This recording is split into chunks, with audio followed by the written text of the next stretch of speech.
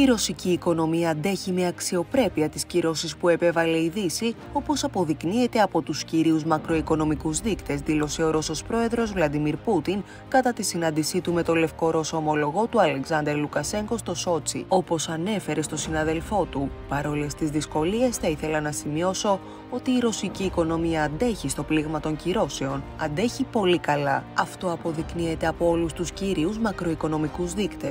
Δεν θα τους απαριθμίσω τώρα, κατά τη διάρκεια της συνομιλίας θα σας δείξω τι συμβαίνει. Επίσης, ο Βλάντιμιρ Πούτιν σημείωσε ότι σε μια δύσκολη κατάσταση απαιτείται ιδιαίτερη προσοχή και ιδιαίτερες προσπάθειες από την οικονομική ομάδα της ρωσικής κυβέρνησης. Σε γενικές γραμμές, οι προσπάθειες αυτές έχουν θετικό αποτέλεσμα. Αυτό αντικατοπτρίζεται και στο επίπεδο του εμπορίου μεταξύ των χωρών χωρών μα, ο Ρώσος πρόεδρος. Παράλληλα, ανέφερε πως η μετάβαση των συναλλαγών με τους εταίρους στο εθνικό μας νόμισμα έχει αισθητά αποτελέσματα.